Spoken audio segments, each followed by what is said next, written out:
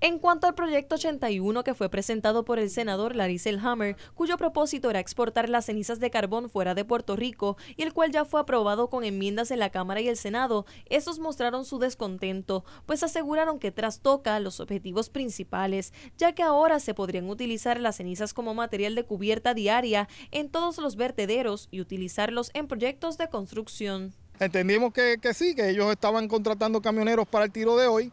Eh, algo sucedió que, no, llegaron. Nosotros tenemos nuestras sospechas, ¿no? De que es que eh, la, comunidad de los transportistas eh, de, la industria del acarreo de, agregados saben que esto es un atropello contra las comunidades y saben que aquí hay un mundo de contención y que ya, ya, ya no meramente es Peñuela. Humacao está organizado, Humacao a las 5 de la mañana estaban apostados frente a la entrada del vertedero. O sea que va esta compañía AS contra el pueblo de Puerto Rico y si el gobierno no se va del lado del pueblo, pues contra, contra ellos también. Ante las amenazas de la compañía Easyways de depositar nuevamente las cenizas de carbón en el vertedero de Peñuelas esta semana, el campamento en contra de las mismas se preparó para impedir el paso de los camiones si estos se presentaban. Si el gobernador no ha firmado el proyecto de ley y hoy venían camiones y la AS está amenazando con que va a, tener, a tirar camiones en Peñuelas, quiere, quiere decir en Humacao, quiere decir que a ellos les importa poco si se aprueba o no se aprueba si ya cumplieron su cometido. Las enmiendas que aprobaron en el proyecto las enmiendas que la S quería que, que pasaran,